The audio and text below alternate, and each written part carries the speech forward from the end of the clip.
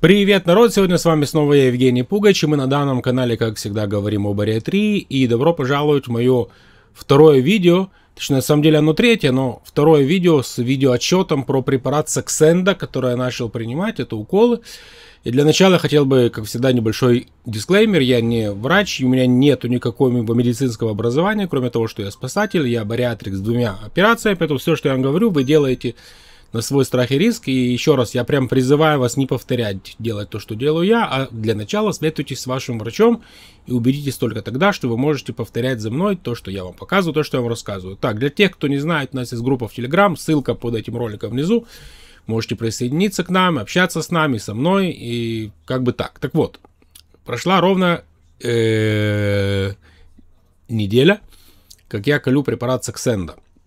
Результат по весу. Значит, мой вес сегодня составляет 109 килограмм. Э, да, вы знаете, я всегда делаю округление наверх.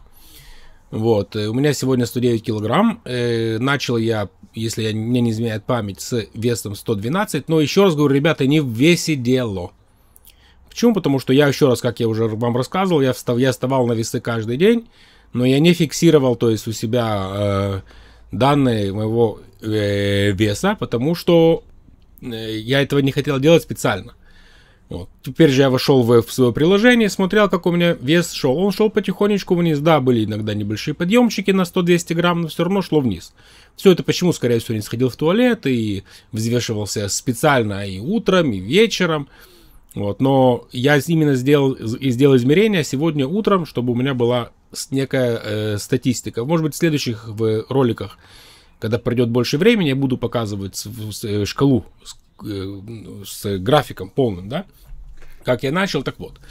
Что изменилось за это время? Для начала у меня практически ушли все побочные эффекты данного препарата. Какие были, э, какие были у меня лично побочные эффекты? Меня после уколов где-то час-два, пару раз было и до середины дня, мутило немножко, подташнивало, но это нормально, я знаю, что иногда у людей э, побочки бывают гораздо сильнее, они там блюют и плохо себя чувствуют. Так вот, что же на самом деле вообще происходит с моим организмом? Мои ощущения, конкретно только мои ощущения. Значит, я вижу еду, и я ее не хочу. Это напоминает, не знаете, вот когда я был после первой бариатрической операции, где-то через недели три месяца примерно, да, когда все уже устаканилось, все уже успокоилось, я ходил вот по разным магазинам, прилавкам, я вижу, то есть всякая еда, и я вообще ее не хотел. Тут то же самое.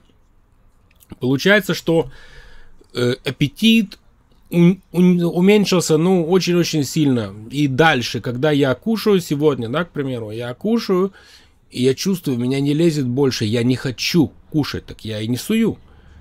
То есть мне, мне это не надо. Завтраки у меня, обеды, ужины, мои все вот эти вот вещи. Допустим, дам пример, я на обед мог, грубо, еще раз, очень грубо говоря, да, просто как пример взять две сосиски.